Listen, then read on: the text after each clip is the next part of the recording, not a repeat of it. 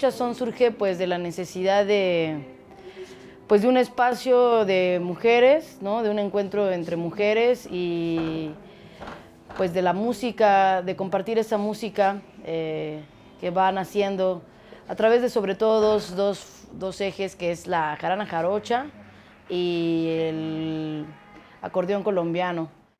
Creo que lo más importante es alzar la voz primero, crear una comunión en la palabra, en la música, en el teatro, utilizar el arte como una trinchera, como, como un megáfono ¿no? a, a, la violencia que sufrimos al día al día. Y en segundo lugar, pues un convivio, una, un encuentro entre nosotras, un, un abrazo certero, un, un decirnos unas a otras no estamos solas, ¿no? Y esto es lo que vivimos y esto es lo que sentimos y esto es lo que ya no queremos permitir más.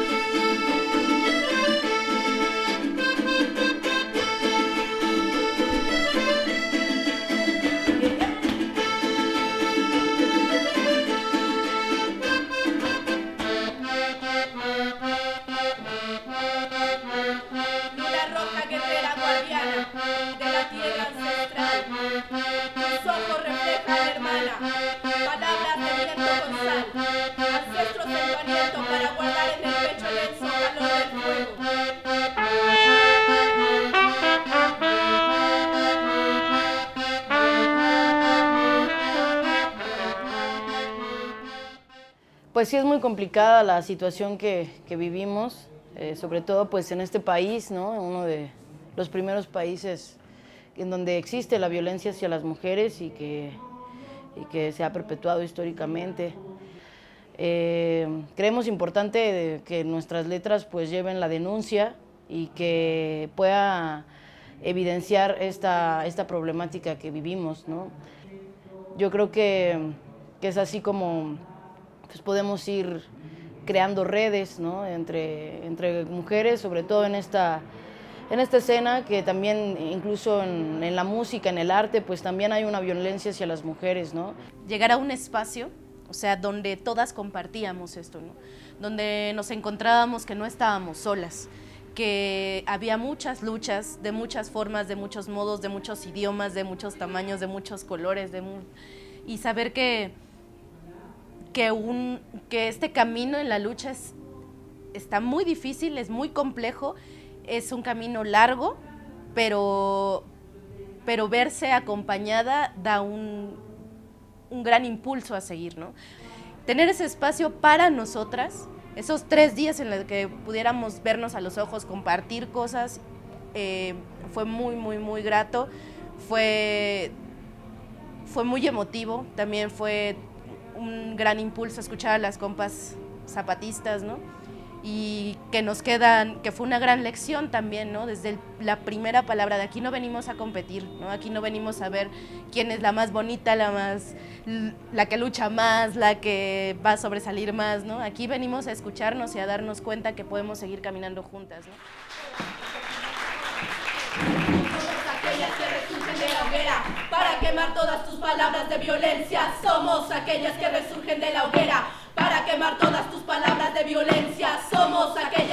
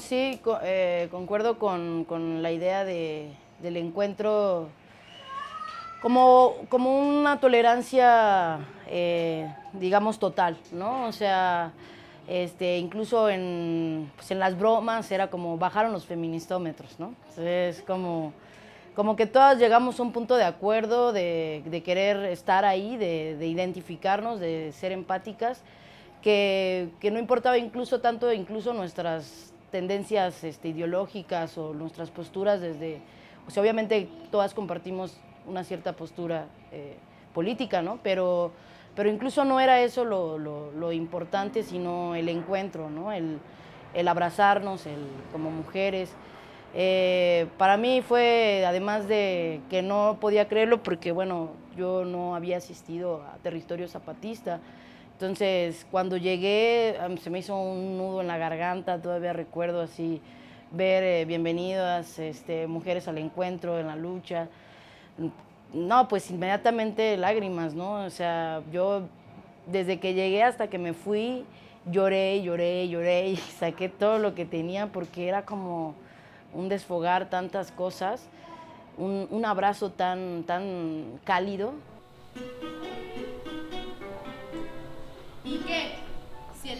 ¿Y qué si el caos impera? ¿Y qué si el alma es llena? Y así el mar sus fluidos se lleva.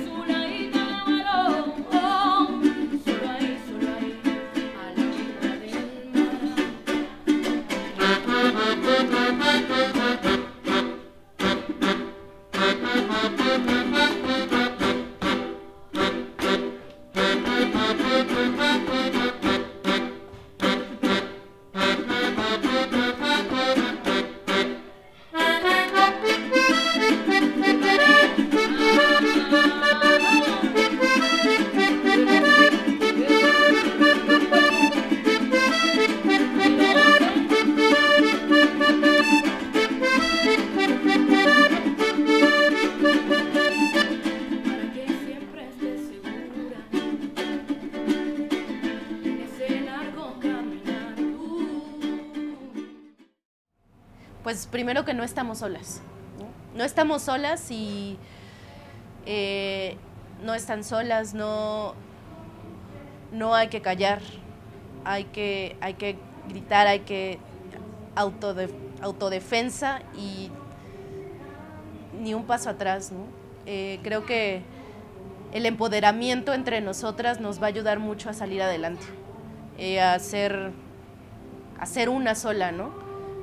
Porque la verdad es que la violencia que sufrimos diariamente es muy fuerte y, y creo que lo único que nos puede salvar somos nosotras mismas.